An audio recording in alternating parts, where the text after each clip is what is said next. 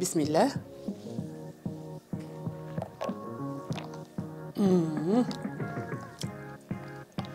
منعش غزال. جربوه. غادي ندوزو دابا باش نشوفوا المقادير باش صوبنا هذا العصير هذا ورمضان كريم.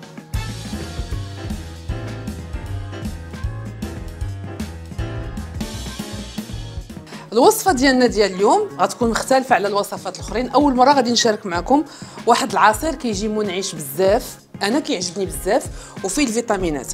غادي نستعملوا في المقادير ديالو.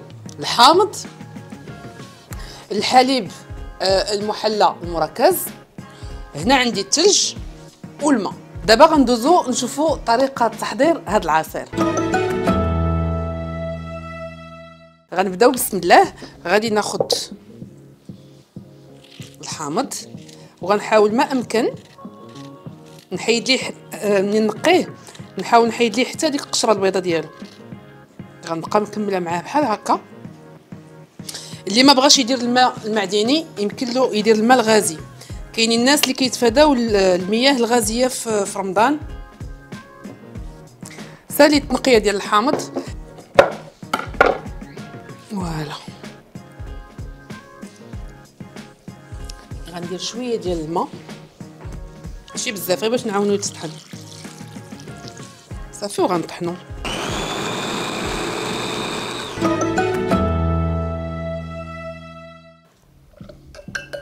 donc ملي درنا ليه الطحنه الأولى بحال هكا غادي نصفيه. ياك. صافي وكنبقاو نصفيو بحال هكا نحيدو داك العصاف. نصفيو مزيان مزيان مزيان مزيان مزيان. نجيبو هنا وغنرجع هذا هنايا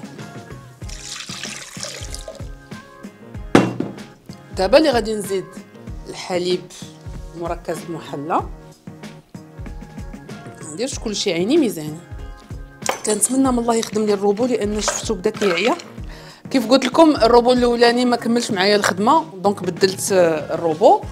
وغادي نوريكم الشكل النهائي ديال العصير كيفاش كيجي.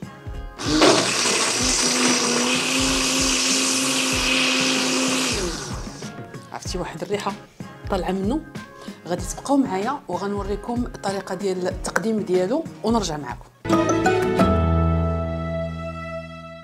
العصير ديالنا وجد أنا غادي نقدمه معكم باش تشوفوا هذيك لا تيكستور ديالو كيفاش جات.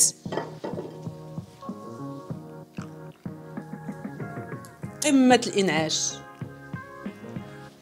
ماشي قمة الإنعاش. شتي ملي كنبغي نهضر بالعربيه الإنتعاش قمة الإنتعاش. بسم الله.